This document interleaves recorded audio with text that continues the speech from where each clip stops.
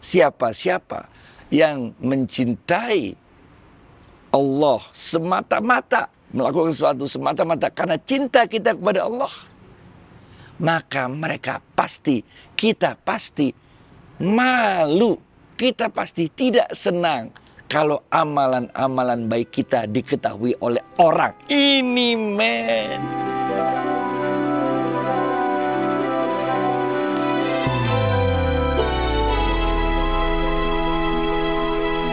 Assalamualaikum warahmatullahi wabarakatuh sahabat Smart Skill School. Semoga kita semua selalu dalam lindungan Allah Subhanahu wa taala. Amin.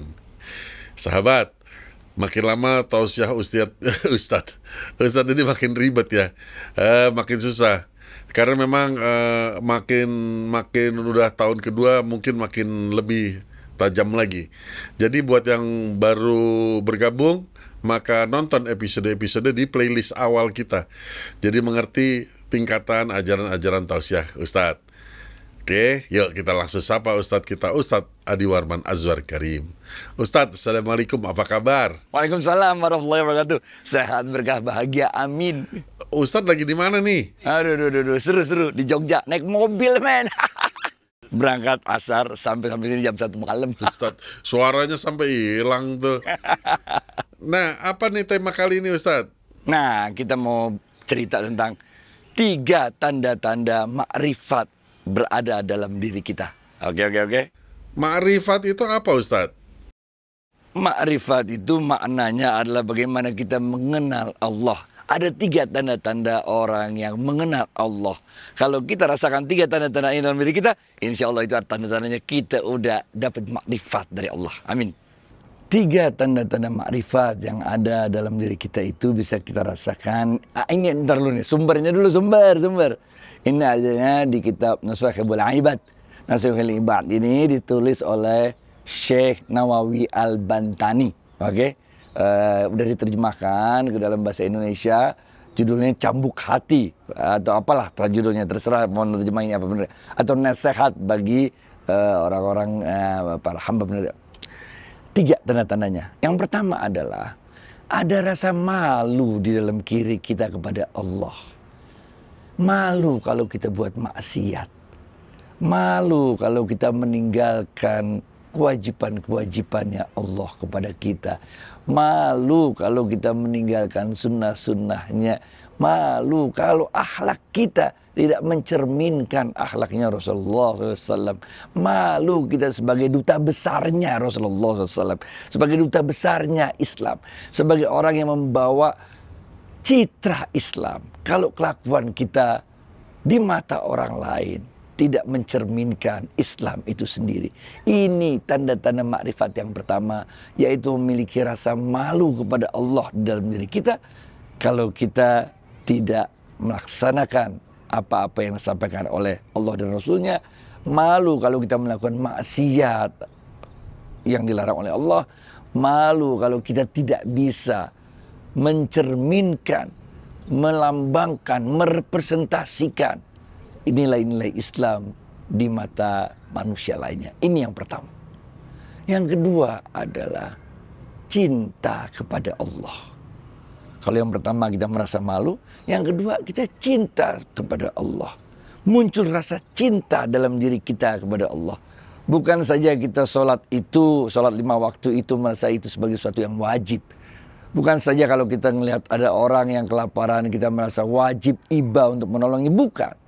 Kalau ada orang lagi kesulitan kita tolong. Bukan. Karena kita merasa, bukan, bukan.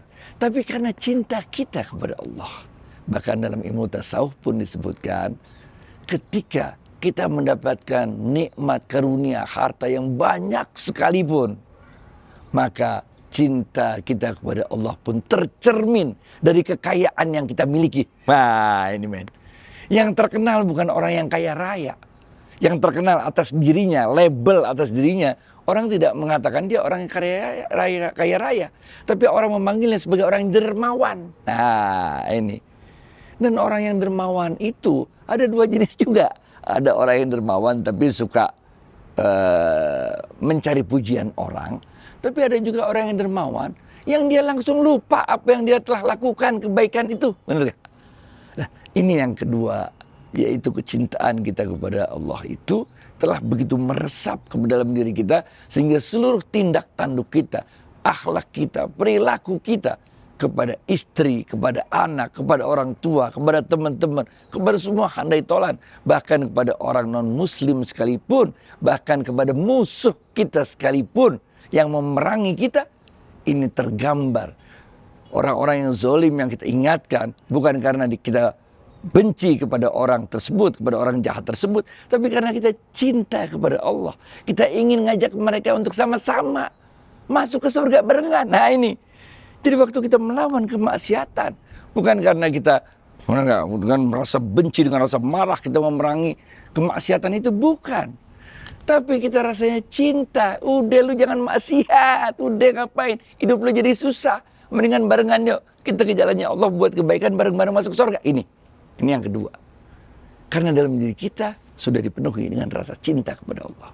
Dan yang ketiga adalah rasa rindu kepada Allah. Ah, kalau yang pertama tadi malu, yang kedua cinta, yang ketiga rindu. Kita nggak pernah kepikiran takut mati. Kenapa jadi takut mati? Wong kalau karena kita rindu sama Allah. Tiap hari udah sholat lima waktu. Tiap Ramadan puasa sebulan penuh. Sepanjang hidup kita, kita selalu berusaha menjadi orang baik.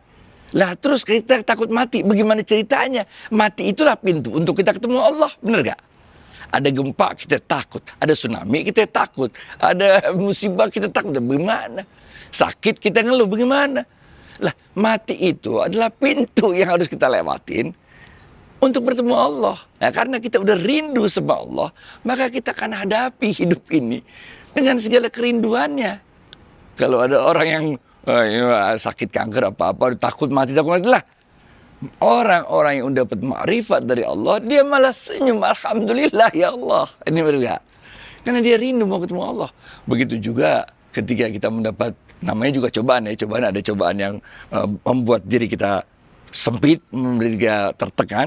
Tapi ada cobaan juga yang membuat diri kita gembira berlebihan yang eh, ketika kita mendapat cobaan yang berlebihan harta yang berlimpah ruah jabatan yang luar biasa keluarga yang soleh soleha semua teman-teman yang baik ini juga cobaan ini cobaan.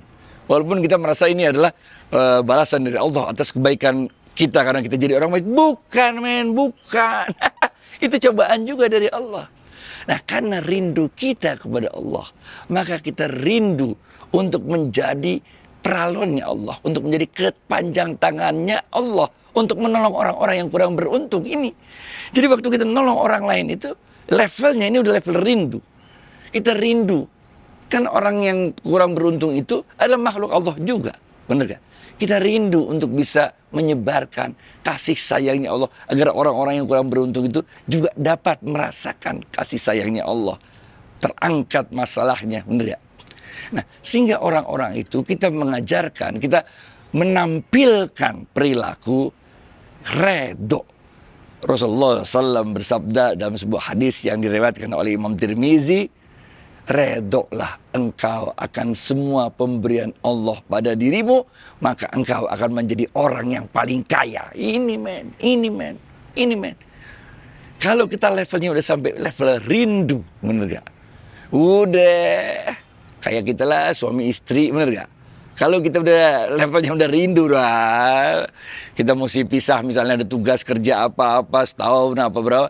Karena kita levelnya rindu, kita nggak memandang itu sebagai suatu hal yang memperjauh hubungan batin kita, tapi itu malah merekatkan karena rasanya rindu terus. Nah, itulah tiga tanda-tanda orang yang mendapat makrifat di dalam kitabnya Syekh Nawawi Al-Bantani. Baik ya, Fit. Masya Allah, semoga kita bisa menghadirkan rasa-rasa cinta kepada Allah itu ya Ustadz ya. Oke lanjut Ustadz. Iya, uh, Syekh Nawawi Al-Bantani masih dalam buku yang sama menulis dalam bab lainnya tiga tanda-tanda cinta. Nah, tadi kan kita udah bahas tanda-tanda ma'rifat adalah yang pertama malu kepada Allah, kedua cinta kepada Allah, ketiga rindu kepada Allah. Sekarang kita bahas nomor dua lebih dalam ya, cinta, oke? Okay? Memang cinta ini paling keren dah ceritanya di kitab Imam Ghazali juga Ihya Ulumuddin paling mantep lah cerita cinta ini. Karena kalau orang udah cinta berjuta rasanya men. Oke oke. Tiga tiga.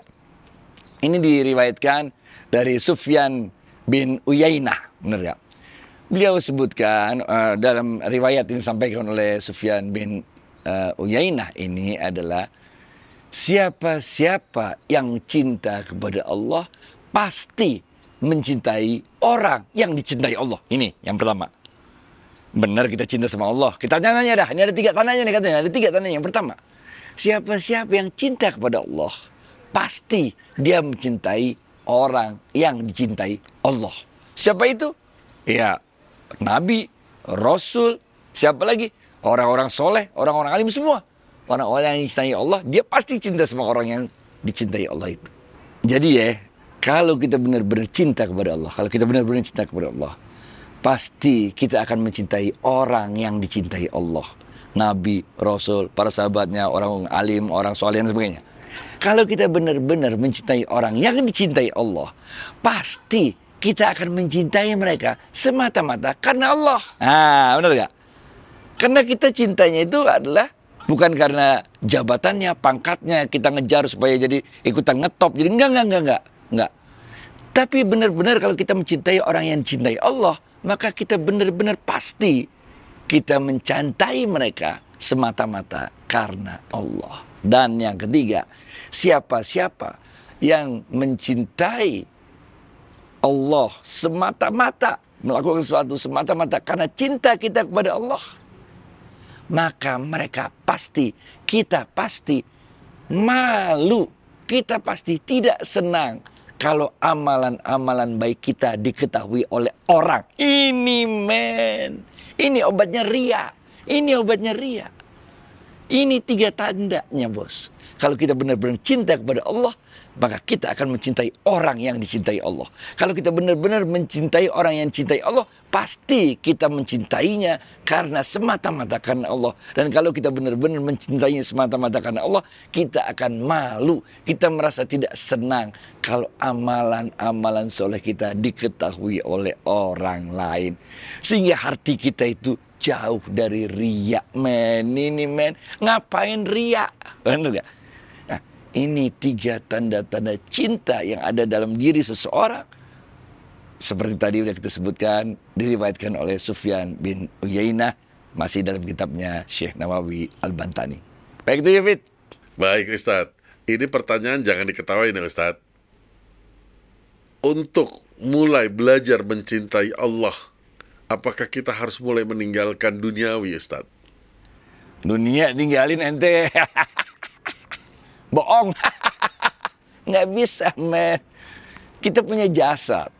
Kita punya jasad. Karena kita punya jasad. Jasad itu harus kita kasih makan.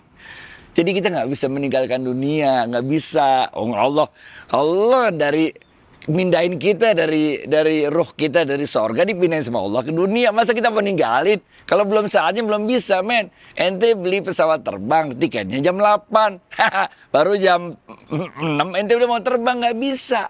Ente eh, tiket kereta apinya jam 8.40 mau ikut kereta jam 5.40 nggak bisa. Belum boleh. Jangan tinggalkan dunia men. Tapi letakkanlah dunia. Ah ini perkataannya Sayyidina Abu Bakar Siddiq radhiyallahu anhu. Nah, ini keren nih. Ntar David kalau boleh tuh ditunggu di depan hotel tuh. Ntar ntar saya ini ya syutingin. Ada tulisannya kutipan dari Sayyidina Abu Bakar Siddiq radhiyallahu anhu. Wahai Allah, letakkanlah dunia ini pada tanganku dan jangan kau letakkan dunia ini pada hatiku. Jadi kita bukan meninggalkan dunia, kita ambil dunia, letakkan pada tangan kan artinya kita harus menguasai dunia dong, benar gak? Artinya kita harus kuasai dunia. Umat Islam harus menguasai dunia. Jangan kita tinggalin dunia. Kalau kita tinggalin dunia, dunia kita diatur sama orang yang gak ngerti Islam. Ah, cilaka. Dia kagak ngerti batasan halal haram makanan. Yang kita makan jadi haram, bener gak? Dia kagak ngerti batasan bagaimana pakai baju yang nutup aurat. Ha, bener gak? Mata kita jadi rusak dah ngelihat yang segala macam, bener gak? Kita harus kuasai dunia. Tapi dunia itu kita letakkan di tangan kita. Itu kalimatnya Abu Bakar Siddiq radhiyallahu luar biasa. Wahai Allah, letakkanlah dunia ini pada tanganku dan jangan letakkan dunia ini pada hatiku karena di hati ini cuma ada satu yang boleh boleh ada di hati kita yaitu Allah nggak ada yang lain ingat kata dia nomor dua mencintai hanya semata-mata karena Allah dan karena kita mencintai semata-mata karena Allah maka kita akan malu. Kita tidak senang kalau amal-amal baik kita diketahui orang lain. Benar gak? Karena kita bisa rusak ini. Kalau riak masuk rusak bahaya ini. Ini buat buat YouTube gini nih kalau kagak uh, hatinya diatur yang benar bahaya juga ini. Benar gak? Uh, ngitung follower lah, ngitung subscriber sebenarnya. Udah men, bismillah. Allah yang atur semuanya benar gak? Allah akan buat sesuatu itu dimuliakan oleh Allah, maka nggak ada makhluk yang bisa menghentikannya. Dan kalau Allah ingin menghinakan sesuatu, maka tidak ada makhluk pun yang bisa menghinakannya eh menolak penghinaannya. Baik itu ya, Fit. Jadi teringat episode lalu, Ustaz, mengenai kita yang memegang tulang yang selalu dikejar anjing. Nah. Ya tulang mewakili keinginan kita pada duniawi dan anjing itu adalah setan yang selalu menggoda kita. Aduh, dunia ini fana, nggak ada apa-apanya dunia. Bener nggak? Nggak ada apa-apanya. Bagaimana kita kan waktu itu ya kita ceritakan bagaimana Imam Ghazali tanya kan, ini bagaimana ini kok kita udah jadi orang baik, udah terus jadi uh, orang alim, orang ahli ibadah, orang yang soleh, tapi kok setan terus aja nganggu bener ya? Makanya Imam Ghazali mengatakan waktu itu kan, ya bagaimana setan nggak nyamperin ente terus, lah ente ke mana-mana masih bawa tulang bener gak? Ah tulang itu adalah dunia. Kalau kita masih ada keinginan untuk meletakkan dunia itu pada diri kita, ah jadi kacau balau lah, bener ya? Sehingga pengen dunia lagi, pengen dunia lagi, rusaklah semua cerita kita yang telah kita ceritakan. Udah men, dunia nggak ada apa-apanya serius ya, serius deh. Ntar kalau kita udah jalanin hidup ini kita tahu bahwa sebenarnya harta itu nggak ada apa-apanya. Kita butuh harta iya, tapi bukan untuk ditaruh di hati. Terlalu berharga hati ini untuk diisi selain dari Allah. Bahkan terlalu berharga hati ini untuk diisi cuma sekedar seseorang yang sangat kita cintai. Nggak bisa men. Rasulullah SAW mengatakan, ini adanya dalam kitab Ihya Ulumuddin, katakan Imam Ghazali. Eh, Imam Ghazali mengutip sebuah hadis Rasulullah SAW. Kalau engkau sayang dengan seorang, kalau engkau cinta dengan seorang, jangan berlebihan. Karena bisa jadi orang yang engkau cinta itu akan menjadi musuhmu. Dan kalau engkau sebel sama orang, benci sama orang, jangan berlebihan. Karena bisa jadi orang yang engkau benci itu suatu saat akan menjadi temanmu, benar gak? Namanya juga pernikahan, benar gak? Lah jodoh urusan Allah. Kita mah cinta-cinta banget sama bini kita. Kita jalanin puluhan tahun, udah cinta banget. Habis tak ngepol, bener gak? Romantis banget, dah jadi pasangan, bener gak? Lah kalau jadwalnya udah tiba bagaimana? E, masa kedaluarsa jodohnya udah sampai, bener gak? Ya pisah, bener gak? Yang harus kita lakukan adalah melakukan ikhtiar terbaik kita di dalam periode yang telah ditentukan Allah jodoh kita itu lakukan sebaik-baiknya. Begitu juga dengan ajal. Benar gak? Lakukanlah ikhtiar sebaik-baiknya dalam periode yang telah ditentukan oleh Allah sampai dengan ajal kita tiba. Lakukan uh, ikhtiar sebaik-baiknya sampai dengan uh, jodoh kita putus kan gitu. Lakukan sebaik-baiknya sampai dengan rezeki kita selesai. Benar gak? Misalnya kita nyari rezeki, kita nggak tahu rezeki itu di mana, benar gak? Kita nyari aja, sama kayak nyari jodoh. Kita nggak tahu jodoh di mana, cari aja, benar gak? Kalau kita misalnya dalam mencari rezeki, kemudian bisnis kita satu dan lain hal bangkrut, Apakah berarti dengan bangkrutnya bisnis kita itu atau kita berhenti kerja di satu tempat? Apakah berarti dengan bangkrutnya bisnis kita? Apakah berarti dengan berhentinya kita di tempat kerja itu rezeki kita berhenti? Kagak kan? Rezeki jalan terus benar gak? Walaupun kita berhenti, walaupun bisnis bangkrut, bangkrut benar gak? Begitu juga jangan jodoh. Emang kalau jodoh kita berhenti, kita cerai, emang selesai jodoh kita? Ya kagak lah, sabar aja. Jalanin aja hidup, bener gak? Ntar Allah yang atur semuanya timingnya, dengan siapanya, bagaimananya Allah yang ngatur. Begitu juga dengan ajal, benar gak? Emang kalau kita sakit, udah apa namanya uh, kanker apa segala macam yang udah parah banget, kita bakal mati gitu? Enggak lah, jalanin aja terus, benar gak?